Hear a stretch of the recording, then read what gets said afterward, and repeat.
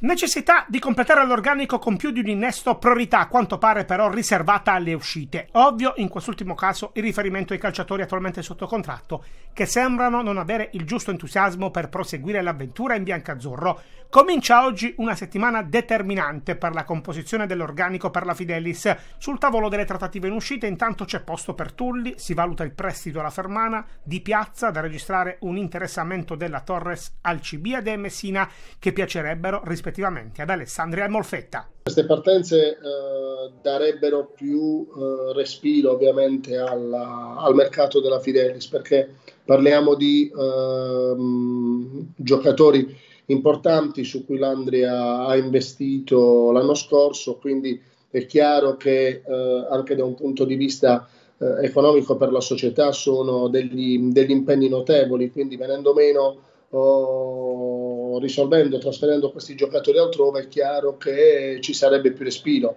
Uh, sono giocatori che abbiamo valutato fino all'ultimo momento, stiamo ragionando con chi uh, li ha chiesti e quindi tutte le società che sono interessate a questi calciatori vengono, sono degli, comunque degli interlocutori per quanto ci riguarda. La Fidelis è un cantiere aperto, l'Andria ha bisogno di innesti per dare qualità e sostanza all'attuale rosa. La priorità riguarda il portiere, al momento non ci sono estremi difensori sotto contratto. C'è in prova Mattia Bucosse che però non ha convinto nell'amichevole contro il Barletta. Ha salutato il ritiro di San Giovanni Rotondo Piero Burigana, mentre si è aggregato al gruppo il 99 Alberto Sabini ex Albino Leffe. L'obiettivo principale per la porta resta comunque Gianluca Saro classe 2000 ex Crotone. È un ruolo talmente delicato che uh, ci sono delle valutazioni in corso e uh, è chiaro che uh, va, va, va, fatta una valutazione mh, da due punti di vista. Uno è quello meramente tecnico perché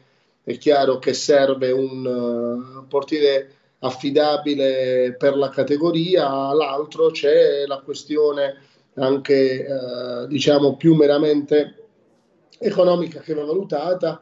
Eh, I nomi che hai detto sono comunque tutti al vaglio e ci auguriamo di, di chiudere quanto prima, anche perché Uh, abbiamo necessità di, di, mettere una pedina importante. Il ritiro della Fidelis a San Giovanni Rotondo si concluderà nel fine settimana dopo altre due amichevoli. La prima giovedì contro il Nardò alle ore 17.30, la seconda invece sabato con il Brindisi alle 16.30.